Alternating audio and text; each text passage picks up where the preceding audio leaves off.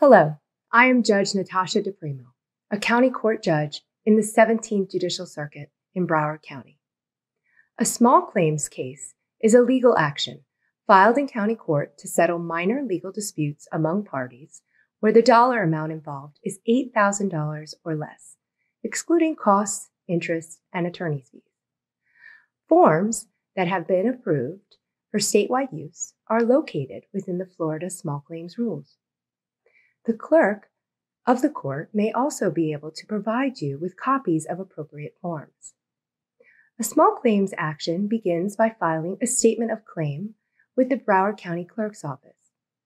Filing fees for small claims actions are established in the Florida statutes and local county ordinances and are subject to change by legislative action. The clerk of court will be able to provide information on filing fees.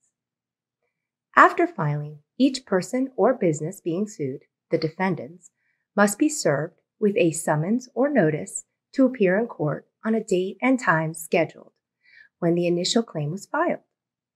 Currently, because of the limitations imposed due to the COVID 19 pandemic, these appearances are being held by means of video conference or other remote technology. A copy of the statement of claim should be attached as provided in the Florida Small Claims Rules. So the person or business being sued knows what relief the person bringing the lawsuit, the plaintiff, is suing for. Additional fees are required for service of process on the parties being sued. Generally, service of process will be made on the defendants by the Broward County Sheriff's Office. In Broward County, the clerk of court will schedule a pretrial conference at which all parties must appear via video conference or other remote technology. If the defendant or defendants have been properly served and fail to appear at the pretrial conference, the plaintiff may be entitled to a default and a default final judgment. The judge presiding at the time of the pretrial conference may ask questions or require the plaintiff to produce documents in support of his or her claim including proof that the defendant or defendants are not in the military service. The court may prepare the judgment for the plaintiff. However, the court does not collect the judgment for you. The clerk can provide you with information regarding the recording and collection of your judgment, or you may wish to engage counsel for that purpose. The Broward County Bar Association does have a low cost lawyer referral service that you may wish to use.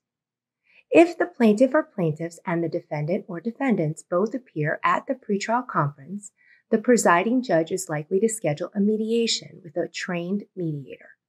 The mediation service is free to the parties and is designed to help litigants resolve the issues between them fairly and quickly.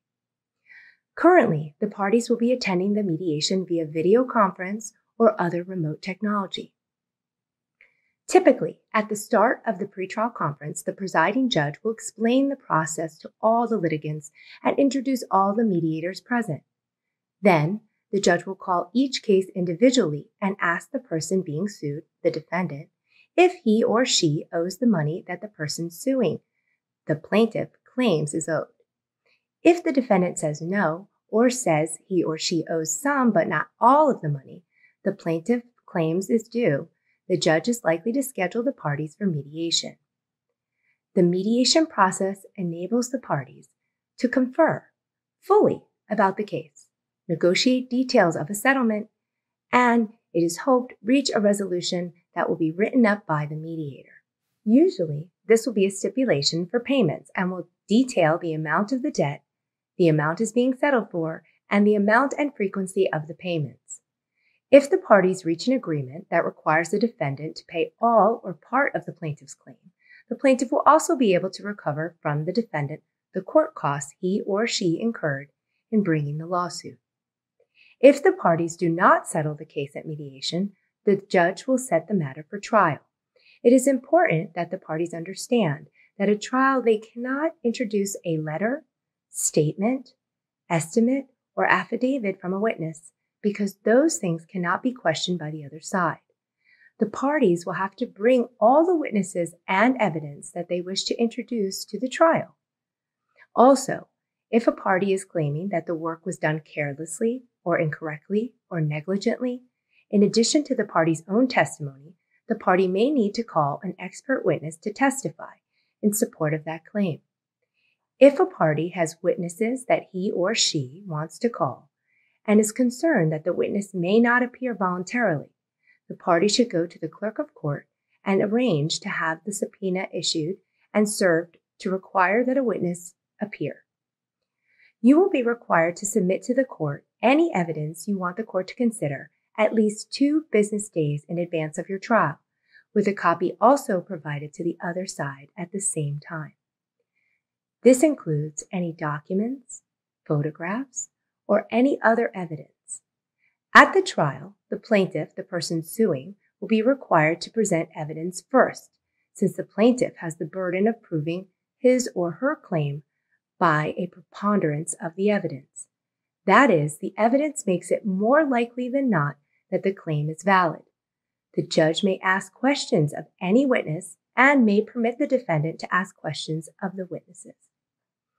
After the plaintiff presents all of his or her evidence and witnesses, it will then be the defendant's turn to testify and present evidence as well. All parties and witnesses must direct their testimony to the judge, not to each other, and are also expected to let every witness testify without interruption.